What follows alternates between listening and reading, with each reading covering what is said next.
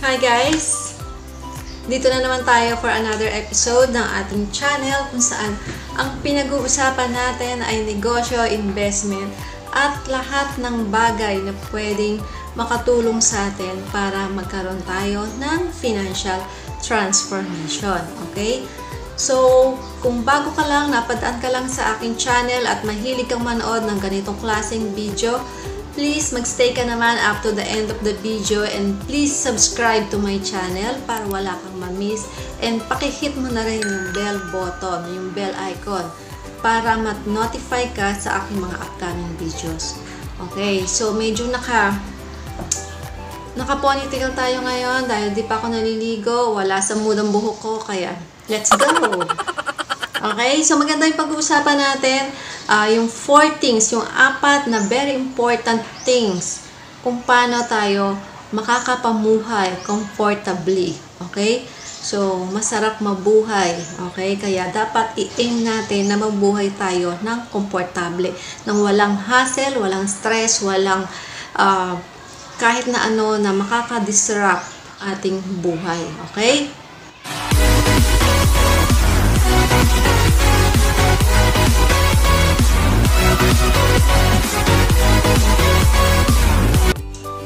Okay, number one is learn how to save.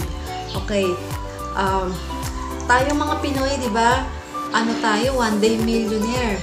Minsan, uh, hindi lang minsan, yung suneldo mo ng buong month, eh nauubos mo kung saan saan. Nauubos mo sa paglabas, sa pagkain sa mga fast food, sa mga restaurants, pagbili ng kung ano-ano mga branded clothes, shoes, gadgets, di ba? So, nawawala na ng ano, ng puwang sa pag-iisip mo, ay kailangan kong i-save to. Kasi baka pagdating ng panahon, kailanganin ko, magkasakit ako, magkasakit yung anak ko, wala kaming mahuhugot. Ba? So, ganun yung mentality ng mga taong may poor mindset. Diniscuss natin yan sa another video natin dito sa channel. So, balikan mo na lang yung poor mindset versus uh, rich mindset. Okay? So, dapat yung mentality natin, mentality natin, uh, tanggalin na natin yung pagiging poor mindset kasi wala tayong mararating. Okay? Kung hindi ka marunong mag-save, yung paunti-unti kasi, yung 100 a day na nasa-save mo, biro mo, that's 3,000 a month. Diba? 100, 100. O, ang daming mga um, ways how to save. Sa YouTube, merong mga 100 day challenge, 500 uh, peso challenge, di ba? So, pwede mo umpisahan sa mga ganong klaseng video, panoorin mo, uh, sundan mo, di ba? Gawin mo. Okay? Makikita mo na lang after one year, aba, ang dami ko na palang na-save. Okay? So, para sa isang ano, uh, sa isang employee na ikaw lang sa sarili mo ang pinapakain mo, katawan mo lang ang ginagastusan mo, wala ka namang ibang no problema, eh napaka-posible niyan, di ba? Madali yang gawin. Okay? Pero kung ikaw ay isang tao na um, family, head of the family ka, di ba? Tapos ang daming pong pinapakain, So, itry mo pa rin at kahit tingko konti, 100 pesos a day o 50 pesos a day, magtabi ka. Okay? And then, over a period of time, kung consistent yung ginagawa mo, makikita mo magkakaroon yan ng magandang result. Okay? So, napaka-importante yun. Learn how to save. Okay? Para magkaroon tayo ng komportableng buhay in the future. So, ang, ang um, inaano natin dito, ang plano natin dito, ang goal natin na dito uh, sa video na to ay magkaroon tayo ng komportableng buhay sa future, hindi ngayon. Kung baga, mag-sacrifice ka muna ngayon, gano'n ba naman yun, di ba? Um, pinag-uusapan natin, pagdating ng panahon, maganda yung buhay mo kasi talaga naghigpit ka ng sinturon, nag-save ka talaga to the max. Okay? So, number two is learn how to budget. So, konektado yung dalawang yan. Kasi hindi ka makakapag-save kung hindi ka marunong mag-budget. Okay? So, paano ba tayo mag-budget? Unang-una nga, pag pupunta tayo sa supermarket, kumain muna tayo sa bahay. Huwag ka nang mag, ano, ay pagdating ko doon, nasa bahay ka palang pinaplano mo na kung saan ka kakain. Ba? Mayroong mga ganun eh. Okay? Um, iniisip mo na kung ano ba kakainin mo, kung ano ba bibilin mo, kung ano may meriendahin mo pagdating mo doon. So, plan your budget at uh, dapat uh, matutunan natin kung paano tayo mag-budget. So, ilista mo na lahat ng dapat mong bilhin sa supermarket at huwag kang bili ng bili sa tindahan, sa grocery store, sa kapitbahay, ba? Kasi yung mga tindahan sa sa barangay, especially sa barangay, di ba? Yung mga tindahan na malapit sa bahay nyo, mga convenience store, that is 30% higher yung price niya. Biro mo yun, di ba? Pumunta ka sa supermarket, compare mo yung price nila. Iba yung presyo sa sari-sari store. Okay? Kaya kung pupunta ka, pupunta ka ng bayan at nandun yung super supermarket, pagsama-samahin mo yung bibili mo. Kumbaga, one-time purchase lang. Diba? Nakatipid ka. Hindi yung pupunta ka sa sa sari-sari store or sa convenience store na malapit sa inyo, mas namamahalan ka. Okay?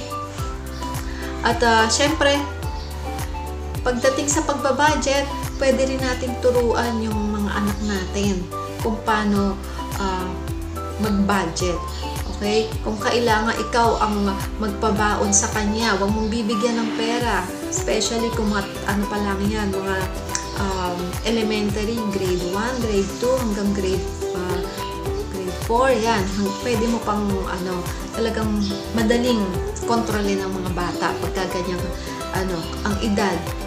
Okay? At saka syempre, since mga bata yan, mabilis silang makaintindi, mabilis pumick up. Okay? So, ipaliwanag mo sa kanila bakit kailangan pabaunan mo sila. Especially today na maraming mga sakit-sakit na nagkalat, di ba? Mas maganda kung ipababaunan mo na lang, alam mo na safe yung binaon nila dahil ikaw ang gumawa. Okay, so wag yung kung ano-ano, yung mga chichirya, tapos bibigyan mo ng pera, bayaan mo siya kung saan bumili, kung ano ang bilhin, di ba? Ang ending, malala naman mo na lang may mo.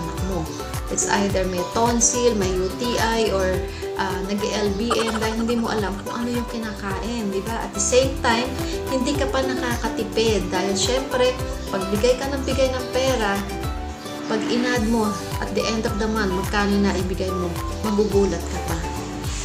Okay? So, tanim natin sa isip ng mga anak natin na bawat sentimo na inilalabas mo, eh, kinikita mo, pinaghihirapan mo kitain para mamulat sila dun sa ganong mindset na hindi pa na napupulot ang pera. Okay? At saka, hindi pwede yung pag hiningi mo, eh, bigay agad. Okay? So, meron kasi mga magulang na gano'n na kahit mamahalin, ibibigay sa anak. Kahit hindi mo afford, kahit uh, subsub ka sa trabaho, nagkakasakit-sakit ka na, mabili mo lang yung gusto ng anak mo, eh mali naman yun. Diba? Kasi ma-spoiled masyado yung bata. Ang mangyayari niyan, uh, pagdating ng panahon, magiging ganun ang mindset niya, matatangay niya yan pagdating ng katandaan niya, ganun din ang maipapasa niya dun sa kanyang mga anak. Okay? So, kawawa yung magulang. At the same time, hindi ka makakatipid. Lalaki pa yung gastos mo, ha? Nadodoble. Okay, number three is learn how to get out of debt. Okay, ibig sabihin, huwag kang mangungutang. Okay, anda, meron ako mga kilalang ganyan na mahilig sa 5-6 sa mga Bombay. Okay, uh, makikita mo na every 15-30 meron tatapat sa kanila, nakamotor, yung Bombay, di ba? Kakatukin ka sa bahay. Nakakahiya. Malalaman ng mga kapitbahay, ang dami yung palang utang. Kasi sa ano, sa 5-6, nalulubog ka. Instead na makaahon ka sa utang, hindi mo napapansin. Ang binabayaran mo lang, eh yung tubo. Di ba? At saka, um, hindi ka talaga aasenso pagka nangutang ka sa 5-6. Okay? Kung kailangan mo ng pera, pag-ipunan mo, uh, uh, it's better na mag-ipon ka ng paunti-unti kung ano man yung kailangan mo. Kung immediate man yan, pumunta ka dun sa tao na uh, sabihin natin, kakilala mo na may tiwala sa'yo 100% na pauutangin ka na walang tubo. Okay? Kasi, pero kung ikaw yung tao na hindi marunong magbayad, kahit pamilya mo pa yan, ay malamang hindi ka pa utangin. Okay? So, iwasan natin ang utang, especially lalo na sa mga Bombay, ayan, at especially sa mga credit cards din. Dahil pag sa credit card, ay nako, masisira ang buhay mo. Okay? Madedepress ka, ma mapipressure ka. So, lahat ng magay anxiety, attack, ayan, lahat ng klase ng sakit, mararamdaman mo pag nabaong ka sa credit card. Okay? So, number four is learn how to invest and grow your money. Okay, kung alam mo na kung paano mag-budget, paano mag-save, at wala kang utang, di ba? Ang sarap ng buhay, ang sarap matulog sa gabi, wala kang iniisip, hindi ka stress, hindi ka pressured, di ba? Hindi ka pressured kasi pag pressured ka, naghahabol ka. Naku, may, may babayaran na naman ako bukas. Naku, sa makalawa meron na naman ako. Di ba? Ang hirap ng ganon. Natapos, tago ka ng tago. At may kakatok sa inyo. Kung may tatawag, nagtatago ka. Mahirap yon So, kung meron kang ano, um, na itatabi paunti-unti, meron ka ding mahuhugot pagdating ng ah, panahon na nagkasakit ka, nagkasakit ang anak mo, o kaya meron ka ding mai magagamit na pang-invest. Napaka-importante yung ah, investment kasi pagdating ng panahon, yung investment na yan, nagiging doble. Okay? Minsan triple. So, depende sa investment vehicle na gagamitin mo. Okay? At yung investment na yan, ito yung money working for you. Na pagdating nga ng panahon, makikita mo, wow, ang laki na pala ng tinubo ng investment ko. Okay? So, yun yung kagandahan na tuto tayo ng mga financial education, financial literacy. Kasi sa panahon ngayon, dapat alam mo yung mga ganitong bagay. Okay? Hindi na, hindi na yung uso yung ang pagdating sa pera, e-engot-engot tayo. Di ba? Wala kang alam. Yung, di mo alam kung ano nangyayari sa mundo, sa paligid mo.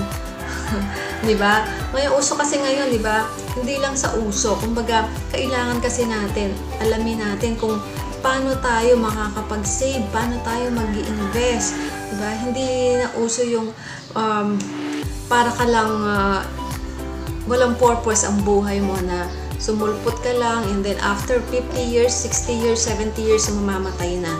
So, masarap yung mabuhay na merong purpose, masarap yung mabuhay na ah, nakapag-enjoy ka dun sa resources na pinagkaloob sa atin ni Lord. Okay? Na-enjoy mo yung buhay mo, hindi yung puro hirap na lang. Kasi mahirap maging mahirap. Dahil syempre, ang pag mahirap ka, iba ang tingin sa'yo ng tao. Yun ang reality. Kaya, sabi nga, di ba, dun sa quote na ah, kung pinanganak kang mahirap, hindi mo kasalanan. Pero pag namatay kang mahirap, kasalanan mo yun. Di ba? So, yun lang mga kapatid and sana meron tayong natutunan sa ating short video ngayon and I hope to see you again for our next video uh, dito sa ating channel. Okay? So, i-apply natin itong natutunan natin and sama-sama tayo na umunlad financially. Bye-bye! Take care. God bless!